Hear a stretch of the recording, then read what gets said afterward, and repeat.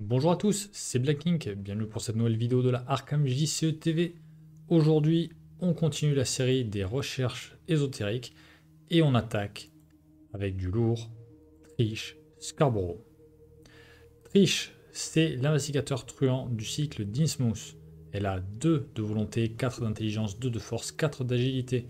Elle est très agence et détective. Sa capacité, c'est une réaction après que vous avez découvert au moins un indice dans un lieu où se trouve un ennemi. Soit vous découvrez un indice supplémentaire dans ce lieu, soit vous échappez automatiquement à cet ennemi. Limite d'une fois par round. Euh, signe des anciens, plus de... S'il s'agit d'une enquête, vous avez le droit de choisir n'importe quel lieu révélé. Vous enquêtez désormais comme si vous étiez dans ce lieu à la place. Elle a 8 points de vie, 6 points de santé mentale. Taille du deck conforme, 30 cartes. Et biclassage classique, truand, chercheur carte truand 0,5, carte chercheur 0,2. Globalement, ce qu'on peut dire sur Trish, c'est que son pool de cartes est super fort. Elle a les ressources des truands et la pioche des chercheurs. Ça en fait une investigateur au top du top. Certains, rien à dire là-dessus. Sa carte signature, dans l'ombre, je m'attarde pas là-dessus. Sachez juste que elle a 4 icônes, potentiellement 4 icônes d'agilité pour réaliser un test d'agilité, que ce soit dans le cadre d'une évasion ou d'un test sur une carte traîtrise, c'est super fort. Ça combotte avec sa capa, puisque en vous désengageant de tous les ennemis du lieu, vous pouvez enquêter et venir récupérer deux indices avant de quitter le lieu. Mais elle permet aussi de gérer sa faiblesse, les agents de l'ombre qui sont un ennemi, avec cet effet si particulier qui est que Tant que les agents de l'ombre sont engagés avec vous, vous ne pouvez pas découvrir d'indices autrement qu'en enquêtant. Après avoir échappé aux agents de l'ombre, défaussez-les. La particularité des agents de l'ombre, c'est qu'ils ont 5 d'évasion, 5 d'agilité, donc ce qui fait que le test d'agilité est assez difficile à mettre en œuvre. Pour autant, et on le verra tout au long de la vidéo, gérer les agents de l'ombre, c'est un jeu d'enfant pour triche, déjà avec sa carte signature, puisque sa carte signature vous permet de vous désengager, des agents de l'ombre, comme on est plus engagé avec eux, le fait d'enquêter ou de découvrir un indice nous permet d'utiliser sa capa et donc d'échapper aux agents de l'ombre. Mais on y reviendra, parce que les agents de l'ombre, honnêtement, ils doivent pas vous faire peur. La première carte euh, dont je vais vous parler, c'est Forcer l'entrée. Forcer l'entrée vous permet aussi de gérer la faiblesse de triche, puisque ça vous permet d'ajouter votre agilité à votre intelligence, et avec une différence de 2 ou plus, vous échappez automatiquement à un ennemi dans votre lieu et ça ne provoque pas d'attaque d'opportunité. On va le voir tout au long des différentes cartes que je vais vous présenter là, comment Triche va pouvoir passer entre les gouttes, tantôt de sa carte faiblesse signature, comme avec forcer l'entrée, mais plus globalement de l'ensemble des ennemis qui pourraient pop en solo ou en multi. En effet, elle peut aussi jouer le cryptographe. Le cryptographe, vous allez pouvoir l'utiliser tantôt avec sa capacité rapide gratuite, tantôt avec son action, que vous ayez un ennemi engagé ou pas avec vous, l'une ou l'autre va vous permettre soit de découvrir deux indices, soit d'échapper automatiquement à un autre ennemi dans votre lieu. C'est quand même pas mal du tout. Mais ça ne s'arrête pas là, puisque Lola Santiago vous permet de faire la même chose en gratuit, moyennant un petit boost en intelligence et en agilité en plus. Et on sait bien à quel point ces boosts sont importants avec Triche, puisque dans le cadre, par exemple, des outils de crochetage, vous enquêteriez avec une valeur de compétence totale de 10. Vous avez évidemment suivre son intuition, cette carte qui nous vient du corset, qui pour moi constitue l'une des meilleures activations de sa capa, puisqu'elle est rapide, puisque c'est un indice sans test, et parce que la valeur de la carte ne dépend pas de la valeur occulte du lieu, contrairement à la capacité de Lola. Donc on le voit déjà, vous avez beaucoup de cartes qui vous permettent d'activer la capacité de triche et donc d'incliner, d'échapper automatiquement à deux potentiels ennemis qu'elle aurait d'engager avec elle. Ou alors, si jamais ceux-ci ne sont pas engagés avec elle, si elles sont par exemple avec le combattant euh, de la partie multi, ou s'ils sont distants, ça lui permettra de découvrir deux indices d'un coup. Cela marche aussi avec réelle compréhension. Alors oui, vous n'allez pas utiliser réelle compréhension pour un test de volonté, néanmoins, pour un test d'agilité, ça se fait. Et je le rappelle, la capacité de triche peut s'employer une fois par round. Donc, euh, vous n'allez pas pouvoir euh, l'utiliser et pendant la phase de mythe et pendant la phase joueur. Vous ne l'utilisez qu'une seule fois. Néanmoins, c'est une carte qui peut être prise en compte. Évidemment, je reviens sur Lola. Comme c'est un soutien, comme elle n'a pas de charge, on peut se poser la question de comment la rentabiliser, comment faire en sorte de euh, rentabiliser justement cette capacité de découvrir un maximum d'indices avec. Pour ça, on a beaucoup de cartes qui sont disponibles pour triche. On a déjà vu le cryptographe. On a la sacro-sainte lampe torche, qui est toujours là depuis le corset, et qui honnêtement, à ce jour, n'est pas encore vraiment détrônée parmi ces soutiens qui nous permettent d'enquêter. Mais on a aussi la boussole surnaturelle avec triche, chose que ne pourraient pas intégrer d'autres investigateurs. Euh, toutes ces cartes nous permettent du coup d'enquêter, de réduire la valeur occulte du lieu, et donc d'utiliser Lola à moindre coût, la capacité de Lola à moindre coût. Au mieux à un coût 0 si le lieu est à 2 dans le cadre d'une lampe torche ou d'un cryptographe, voire aussi de 0 si le lieu est à 3 et que vous avez 3 lieux connexes dans le cadre de la boussole surnaturelle. Mais pour pouvoir rentabiliser Lola, il faut jouer la carte signature cachée de triche qui lui permet de encore mieux passer entre les gouttes, qui n'est autre que dissimulation.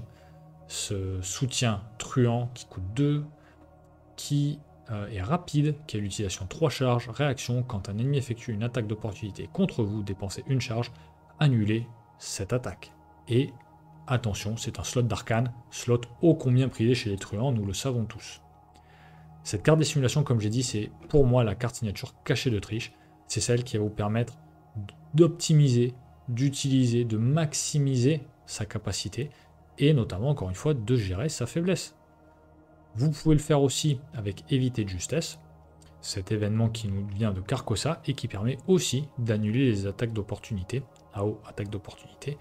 Quand vous combinez les deux, dissimulation et éviter de justesse, ça vous fait un total de 8 annulations d'attaques d'opportunité, c'est énorme. Est-ce que il faut le faire? Je ne sais pas, j'aurais tendance à dire que dissimulation suffit. Par contre, éviter de justesse vous permet d'avoir un petit boost de plus 2 pour le test de compétence que vous voulez faire. Mais vous voyez, sa faiblesse, sa triche, n'est pas embêtante. Franchement, elle est transparente, vous n'avez pas à vous soucier de celle-ci. D'ailleurs, vous avez dissimulation ou un évité de justesse dans votre main, ça va bien se passer. Autre possibilité, vous avez furtivité. Encore une fois, les agents de l'ombre, il faut que vous soyez engagé avec eux. Si vous n'êtes pas engagé avec eux, grâce à furtivité notamment, vous allez pouvoir enquêter sans aucun souci ou découvrir un indice via les cartes que je vous ai présentées auparavant, comme suivre son intuition avec Lola, par exemple.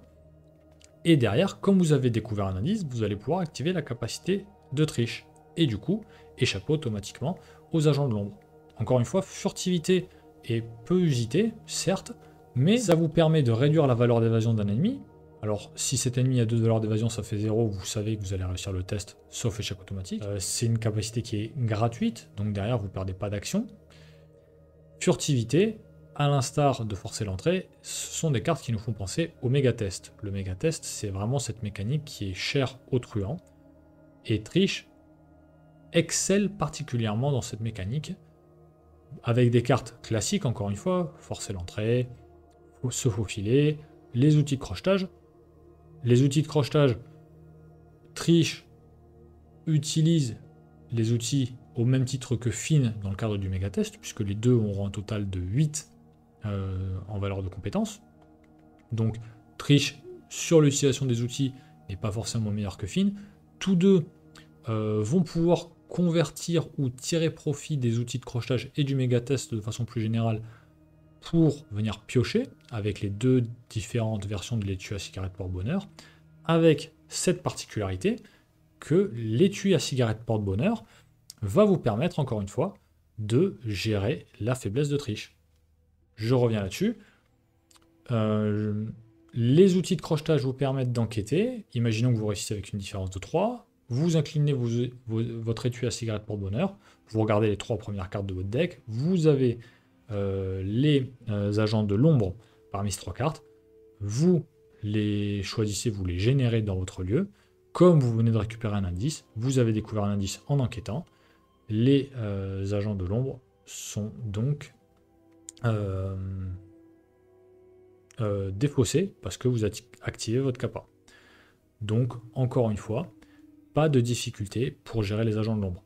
Sur euh, ce, ce, procédé, sur cet enchaînement outil de crochetage, étui à cigarette, porte-bonheur, agent de l'ombre, je vous recommande d'aller voir la vidéo Discerner l'impensable de Omen sur les tests de compétences et sur leurs différentes étapes, puisqu'il reprend cet exemple en le détaillant et en vous expliquant bien la marche à suivre et pourquoi est-ce que les agents de l'ombre, en fait, ne représentent aucun danger pour triche dès lors que vous avez les tuyaux à cigarette porte-bonheur de poser. Presque, parce que vous pouvez toujours la piocher pendant la phase d'entretien. Tout ça me fait dire que voilà, Triche est un peu cette méga investigatrice, celle qui va venir jouer sur le méga test, le méga test qui peut se transformer en méga pioche, mais aussi euh, cette Triche est pour moi la méga investigatrice encore et plus que les autres grâce à un certain combo qui, à mon avis, devrait bientôt se faire tabou. Ce combo, c'est le suivant. Il vient tirer profit de la pioche que Triche a via le pool de cartes chercheur pour mettre en jeu au plus vite le fameux pendentif de la reine qui a été taboulisé, qui a été mis dans la liste des tabous et qui du coup maintenant ne peut plus être recyclé. Il vient se mettre hors jeu une fois qu'il n'a plus euh, de charge et les segments d'Onyx avec. Il n'est plus défaussé si jamais vous jouez les tabous. Le pendentif de la reine évidemment déclenche la capa de triche si jamais vous décidez de découvrir un indice dans le lieu d'un ennemi, que ce soit votre lieu ou un autre d'ailleurs. Maintenant, triche, à l'instar d'Ursula, a la possibilité d'avoir des recharges sur le pendentif de la reine avec l'étudiant énigmatique. Oui, euh, vous allez me dire, c'est bien beau, mais n'importe quel chercheur peut utiliser ces deux cartes. Et l'étudiant énigmatique, lui, utilise des secrets et non pas des charges, ce qui fait, attention, que vous ne pouvez pas incliner l'étudiant énigmatique pour mettre des secrets d'étudiant sur les charges du pendentif. Ce n'est pas possible. Il faut déplacer des charges vers des charges. Vous ne pouvez pas transformer des secrets en charges ou vice-versa. Par contre, ce que peuvent faire Ursula et Trish, contrairement aux autres investigateurs à l'heure actuelle, c'est venir coupler ces deux cartes avec la pendule rouge. La pendule rouge, je vous la lis quand même parce que là c'est important pour comprendre. C'est un objet relique qui a zéro charge lorsque vous la posez, mais forcé après le début de votre tour, soit vous placez une charge sur cette carte, soit vous prenez toutes les charges qui sont dessus en tant que ressource.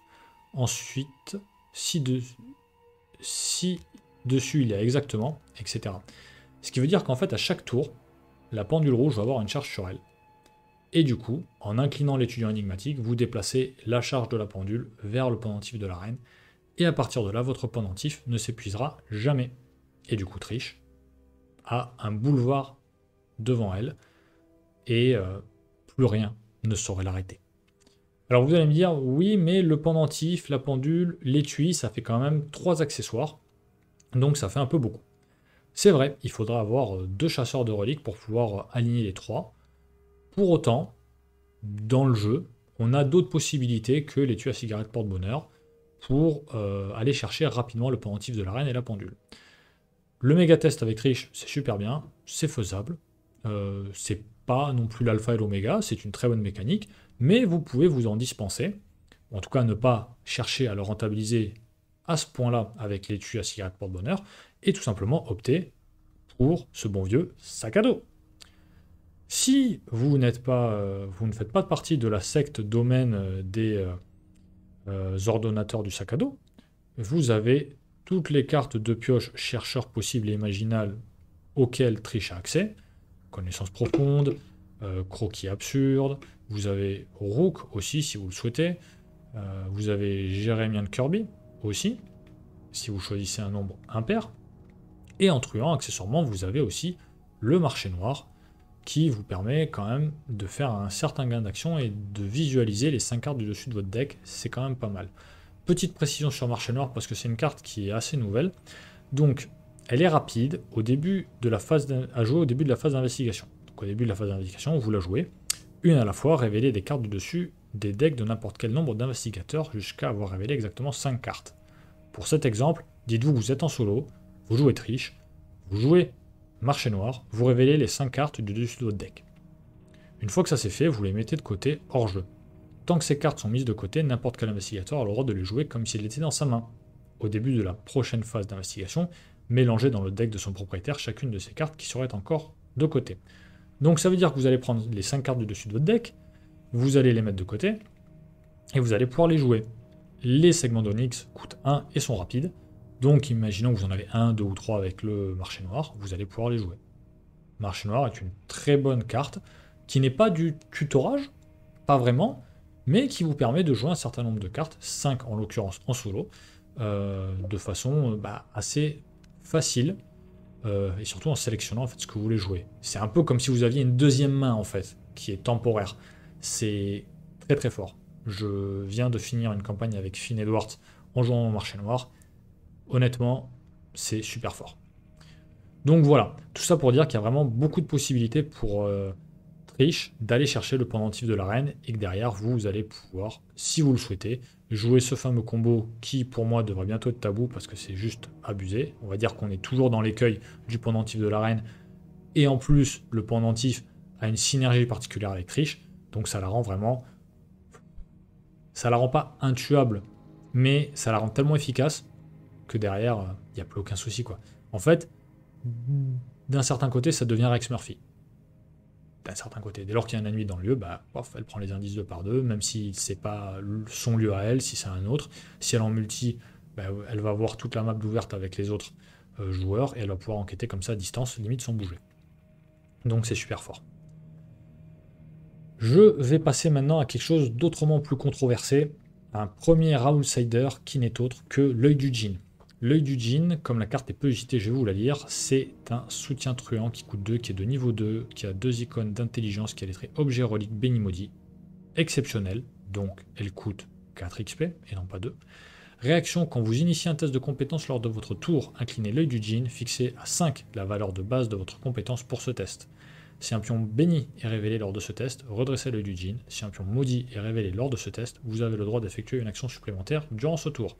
Ça occupe un slot de main. Oui, les slots de main sont prisés chez les truands et chez les chercheurs. Pour autant, l'œil du djinn chez Triche, pour moi, ça se justifie pleinement. Plaidoirie à continuation. D'abord, pour moi, c'est l'outil parfait pour pallier le manque de volonté de Triche.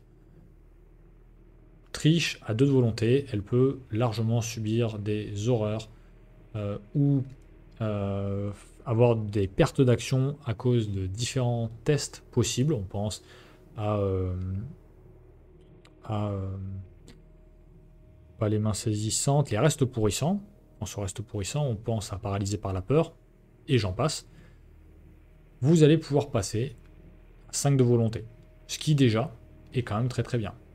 Vous allez me dire, oui, mais Triche, elle n'a pas de béni, et euh, mine de rien, l'effet secondaire est assez aléatoire. Oui, euh, Triche ne va certainement pas jouer le Dujin par rapport au béni, mais elle va le faire par rapport au maudit. Oui, l'effet aléatoire, mais vous, m'accorderez que un plus 3 en volonté, en l'occurrence, c'est quand même sympathique, déjà. Ensuite, ben, il s'avère que le pool de cartes de Triche, truand 0 à 5 et euh, chercheur 0 à 2, mais elle représente un intérêt particulier pour les maudits. Cela au travers de Pacte Faustien pour les ressources, Connaissance profonde pour la pioche, Attirer les ennuis pour les indices, ou encore Riastrad pour le combat. Il y a d'autres cartes qui permettent d'introduire des maudits, évidemment, mais là, vous avez, à mon sens, les quatre cartes les plus intéressantes pour Triche pour introduire des maudits. Sachant que je mets un petit bémol sur Riastrad, c'est une solution vraiment moyenne, mais qui n'empêche d'introduire un certain nombre de pions et qui permet d'avoir un effet sympathique. Je garderai, si jamais je décide de jouer le Dujin, j'intégrerai systématiquement les trois premières dans mon deck. Riastrad, ça dépendra si je suis en solo ou pas en solo, et ça dépendra aussi de la campagne. Mais au-delà de ces cartes qui introduisent de façon bénéfique des maudits, vous avez aussi des cartes qui vous permettent de profiter des maudits que vous avez dans le bag. Vous avez notamment le regard d'Ourache, qui vous permet, en révélant 7 pions KO pris au hasard dans la réserve du chaos, d'infliger un total de 1 plus 1 dégât supplémentaire pour chaque pion maudit ou échec automatique révélé, réparti comme on le souhaite parmi les ennemis dans notre lieu. Et cette action ne provoque pas d'attaque d'opportunité. Le regard d'Ourache, pour moi, est bien plus fort que Riastrad, et Trish s'en sortira bien mieux avec cette carte. Oui, il y a une petite part d'aléatoire, mais honnêtement, avec encore une fois, ne serait-ce que les trois premières cartes que je vous ai citées, Pacte Phocien, Connaissance Profonde, Attirer les Ennuis, vous pouvez facilement avoir 6 maudits en utilisant ne serait-ce qu'une seule de ces cartes. Et encore, avec euh, Attirer les Ennuis, ça m'étonnerait que vous la jouiez sur un lieu à deux de valeur occulte. Donc ça veut dire que vous allez très vite avoir pas mal de maudits dans votre, euh, dans votre deck. Qui plus est, euh, vous allez pouvoir amoindrir, minorer les effets de ces maudits avec le fameux traité blasphématoire qui vous permet de, de changer le modificateur d'un pion maudit révélé lors d'un test. Il passera de moins 2 à plus 1. Et ensuite, vous allez le renvoyer dans euh, la réserve du chaos. Ce qui, euh, au global, donne quand même un tableau assez cohérent, assez intéressant avec le Dujin, puisque d'une part, vous avez des effets assez puissants qui vous permettent de mettre en place des maudits dans votre bague et d'en bénéficier, et derrière de pouvoir les rentabiliser ou en tout cas de venir optimiser ces pions que vous avez euh, dans votre, dans votre Chaos Bag, puisque le regard d'ouvrage, en fait, c'est euh, des dégâts sans test, et le traité blasphématoire vous permet en fait d'avoir un petit plus 1. et sachant que derrière, ben, vous allez pouvoir activer le Dujin pour gagner une action comme vous aurez révélé un pion maudit. Euh, moi, je vous enjoins à le tester. Encore une fois, je viens de finir une campagne avec euh, Finn Edwards, donc je n'avais pas accès euh, ni au traité ni au regard. Et bien, pour autant, l'œil du jean sur les deux, sur les deux derniers, trois derniers scénarios de ma campagne, il m'aura bien servi. J'ai eu pas mal de gains d'action. Et encore une fois, Finn avait un de volonté. Avoir un 5 en volonté à la place de 1, c'est quand même pas mal. Donc pour triche, pour moi, c'est même tableau. Et ces effets-là, plus encore une fois le traité et le regard, ça justifie pleinement le fait de jouer le Dutin. Vous avez d'autres cartes que le traité blasphématoire et le regard qui peuvent venir rentabiliser les maudits. Moi, je garde ces deux-là parce que je trouve que ce sont vraiment les deux plus efficaces. Et par ailleurs, voilà, ce sont deux cartes de niveau 2. Donc, il n'y a pas. Il a que Triche qui peut avoir et l'œil du djinn et euh, les traités euh, blasphématoires ou le regard euh, en même temps en jeu tu peux les jouer en tout cas. J'en viens maintenant à, à ma dernière carte, mon Outsider bis, qui n'est autre que les menottes. Menottes, donc, euh, ce soutien gardien qui coûte 2, qui est une icône d'agilité, qui a les traits objet police. Pour une action, si les menottes ne sont pas attachées à un ennemi, échappé à, à utiliser uniquement sur un ennemi humanoïde. Cette tentative d'évasion utilise la force au lieu de l'agilité. En cas de réussite, attachez les menottes à l'ennemi auquel vous venez d'échapper. Si l'ennemi attaché est non élite, il ne peut pas se redresser et les fatalités ne peuvent pas être placées sur lui. Donc, d'emblée, évidemment, les menottes, vous allez les jouer en multi. C'est clairement le gardien ou le combattant qui a accès aux cartes gardiens qui va l'utiliser. Ce n'est pas triche qui va les avoir. Donc vous allez me dire, oui, tout de suite, c'est un peu comboïde, c'est un peu embêtant, c'est, ça se fait pas comme ça. Oui et non. Franchement, si vous jouez en duo, euh, que vous avez Roland d'un côté, Triche de l'autre, au-delà du fait que c'est assez fluff parce que les deux sont détectives et les deux sont agences. Euh, en tout cas, non, les deux sont agences, pardon. Euh, c'est assez fluff, mais en gros, Roland utilise les menottes sur un ennemi humanoïde. Triche engage l'ennemi derrière, mais il ne peut pas se redresser. Donc, on est pas mal. Sur l'aspect, la condition ennemi humanoïde, beaucoup de monde dit oui, mais franchement, des ennemis humanoïdes, il faut les avoir et tout. Franchement, si vous prenez les campagnes, euh, il y a beaucoup d'ennemis humanoïdes. Il y en a quand même vraiment beaucoup, beaucoup. Dans la zélatrice, euh, il y a des ghouls qui sont humanoïdes. Pas toutes, il y en a une ou deux, je crois. Mais au scénario 2, ben, vous avez euh, quelques humanoïdes, tous les cultistes, notamment le magicien de l'ordre, qui prend une fatalité à chaque nouvelle phase du mythe. Ça, c'est intéressant. Euh, sur Dunwich, bon, bah, vous avez euh, les, les différentes crapules, les gangsters, vous avez aussi des cultistes de temps en temps. Euh, sur Carcossa, vous avez énormément de cultistes, beaucoup d'humanoïdes, beaucoup, beaucoup. Sur la civilisation oubliée, vous avez les cultistes, mais vous avez aussi certains serpents qui sont humanoïdes. Sur le cercle brisé, vous avez les sorcières et les cultistes. C'est peut-être la campagne qui a le plus d'ennemis humanoïdes.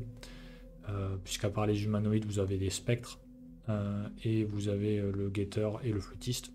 Mais je crois que ça devrait tout. Bon, et les rats, pas les oublier. Sur les dévoreurs de rêves, là oui, je suis d'accord, il n'y a pas beaucoup d'humanoïdes dans mes souvenirs. Je parle là comme ça de mémoire.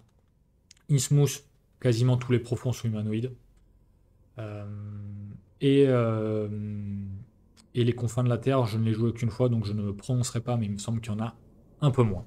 Donc globalement, les menottes, en vrai, vous aurez toujours un moment dans toutes les parties de la plupart des campagnes, sauf du coup les dévoreurs et les confins, il me semble, euh, un ennemi humanoïde. À un moment ou un autre, vous en aurez un.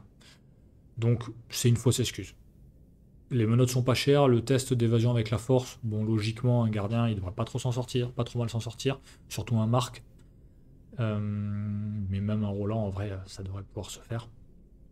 Euh, après voilà, une fois que le gardien a attaché les menottes, bah, Triche engage l'ennemi qui ne peut pas se redresser, et du coup elle a sa capa en illimité. Elle a entre guillemets son toutou qu'elle promène de lieu en lieu. Comme il y a un ennemi, dès lors qu'elle découvre un indice, bah, elle peut en découvrir un deuxième comme l'ennemi est incliné, il ne va pas lui faire d'attaque pendant la phase d'ennemi ou quoi que ce soit. Donc là, Triche, elle a sa capa illimitée. Et encore une fois, Triche, quelque part, se déguise ou devient Rex Murphy.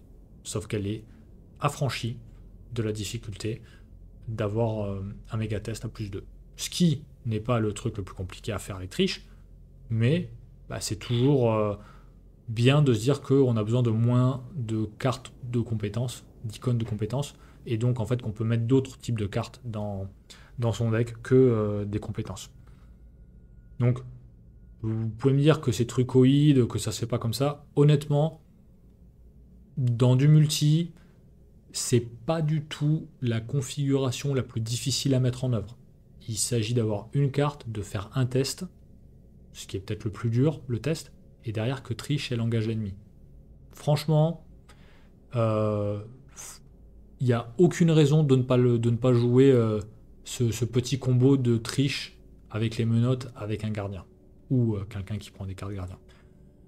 C'est vraiment sympa à jouer, et derrière, en fait, triche, elle est vraiment tranquille. Qui plus est, dans le cercle brisé, pour ne rien vous cacher, vous avez des effets sur des cartes euh, traîtrises qui sont dans votre zone de menace, qui peuvent se défausser moyennant une action de façon automatique dès lors que vous avez euh, une sorcière euh, qui est inclinée dans votre lieu. Avec les menottes, vous allez constamment avoir une sorcière d'inclinée dans votre lieu. Donc ça c'est quand même très très bien. Évidemment en solo, vous pouvez toujours aller chercher Versatile et le sacro-saint sac à dos, même si personnellement je ne vous le conseille pas, ça fait vraiment usine à gaz.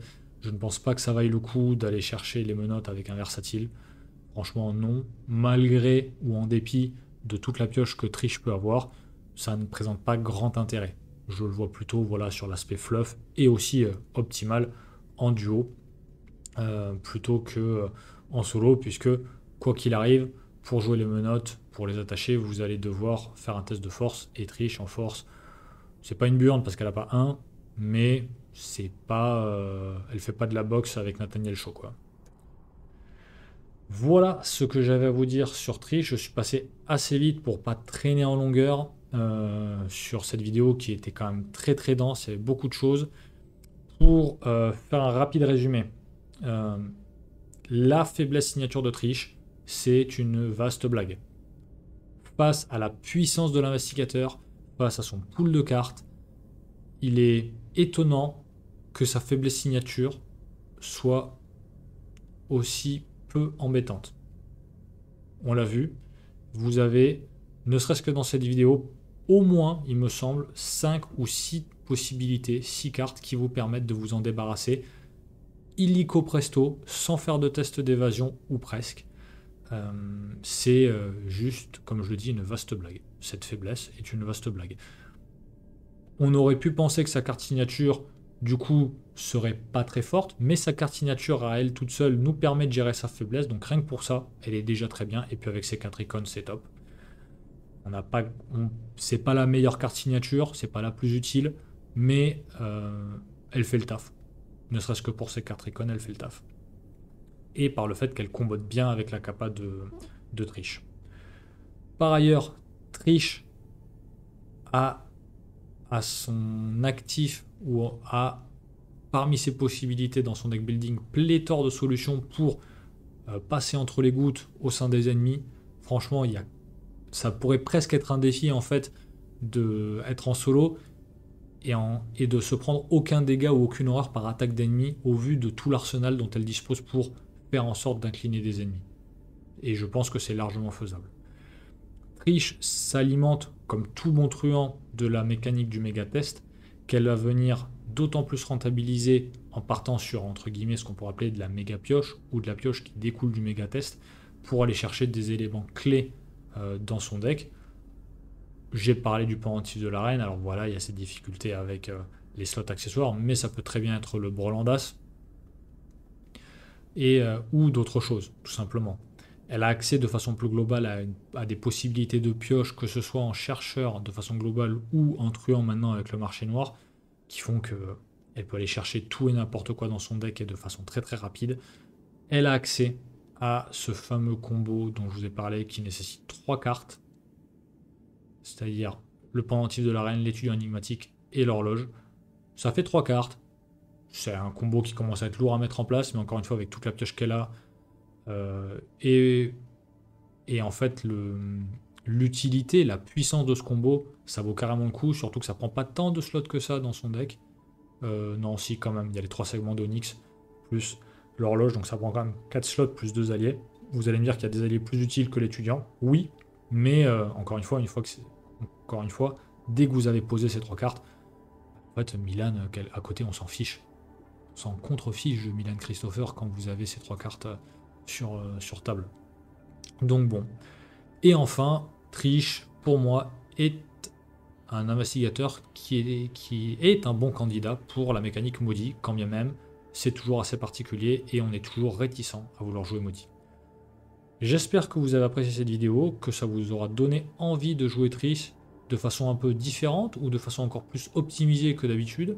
C'est un investigateur qui est très fort, qui a vraiment beaucoup de builds possibles, différents et qui sont tous très bon, qui sont tous efficaces et pour certains extrêmement efficaces. Euh, vous pouvez vraiment vous amuser avec elle, il n'y a aucun souci là-dessus, que ce soit en solo ou en multi. N'hésitez pas en commentaire à indiquer d'autres cartes que vous joueriez ou que vous souhaitez voir jouer avec Triche. Euh, évidemment, il y en avait d'autres, mais il faut toujours faire une sélection. Moi, je vous souhaite du coup de bonnes parties et je vous dis à la prochaine vidéo. Au revoir.